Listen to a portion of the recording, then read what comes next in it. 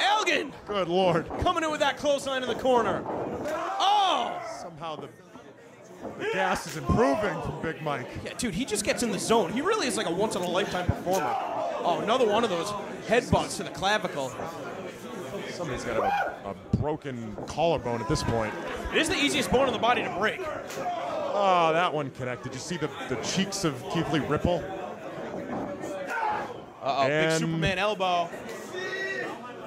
Well, when we got two of the most massive men on the planet making their way to the top rope in a professional wrestling ring, one has to assume that something is breaking, whether it's the ring, their bones, someone's spirit, Kevin Quinn perhaps. Well, if one of the boards is already broken in the ring, perhaps it could pop up and impale somebody. Well, you never know what you're going to see here at Beyond Wrestling.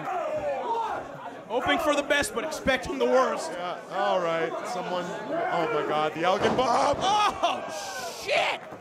Jesus Christ rolls him through. What is this? Tiger Bomb! What? What the fuck?